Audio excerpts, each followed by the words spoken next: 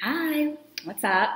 So, as the new year always approaches, or any holiday at that, we are bombarded by advertisements, notifications, emails, social media posts on ways that we should prepare for said holiday, and we even get suggestions on ways we can live our lives a little bit better.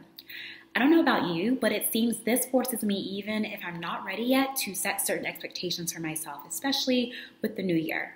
I may not be fully ready to comply, but my mind has been giving me energy, has been giving energy to all of these distractors. And so over time, I feel I have to get on the bandwagon.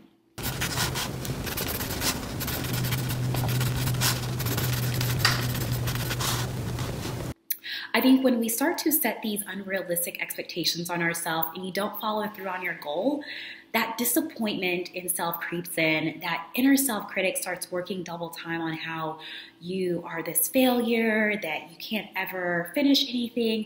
And truly, over time, that inner self critic does some damage to the motivation you have to pull through because now your mindset has saved these statements and they seem to show up unconsciously in moments where you want to focus on accomplishing goals. And that right there is where your lack of motivation can come in, and also just wanting to give up on the whole process because instead of identifying that, you know, yes, you will have moments where, you know, things don't go as planned.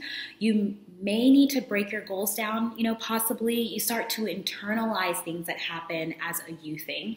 It's only common for you to have this issue in that you never finish anything.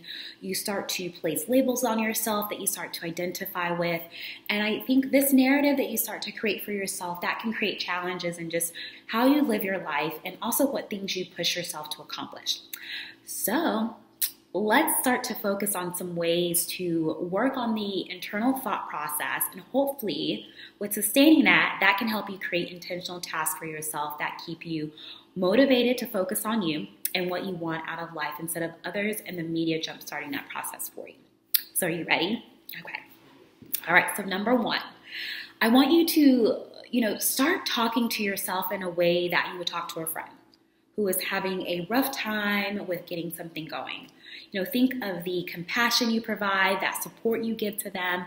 And so before you start to label yourself in a negative light, create mantras or positive statements like, you know, this may be a challenge, but I will get things done little by little. It's just a way to acknowledge that this process won't be easy, but you'll keep going and also choose words that show you're capable what you're capable of, like I can and I will instead of I can't or I should, because those can keep you in a box that can be hard to climb out of.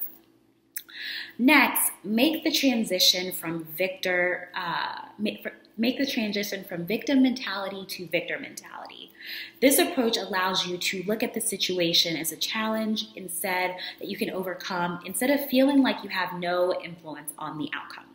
You know, taking this approach gives you more confidence in just how you take control of situations. And lastly, you know, start to acknowledge what certain ways of thinking takes you away from.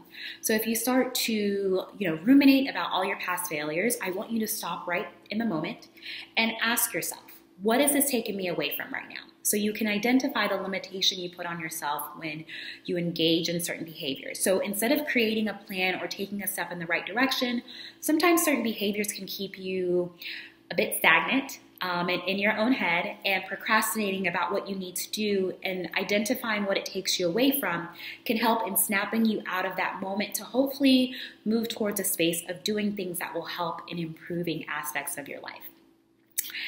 And just because I'm nice, I feel like I wanted to add a little bonus to kind of get you going and just creating a, a goal.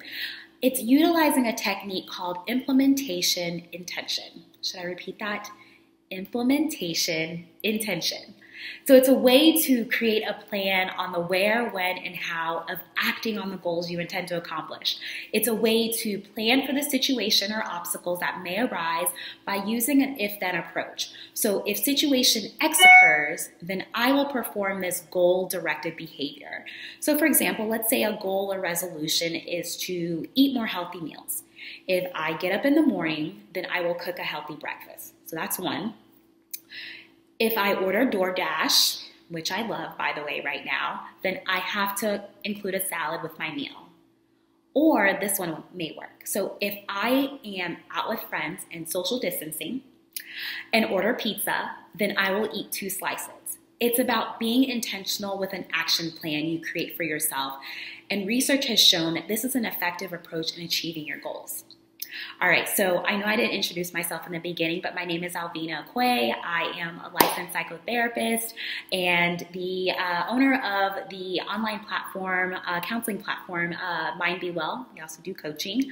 Um, nice to meet you virtually for the first time.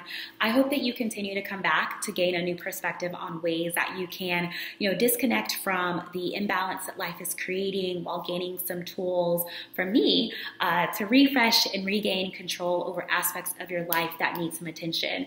So I will see you again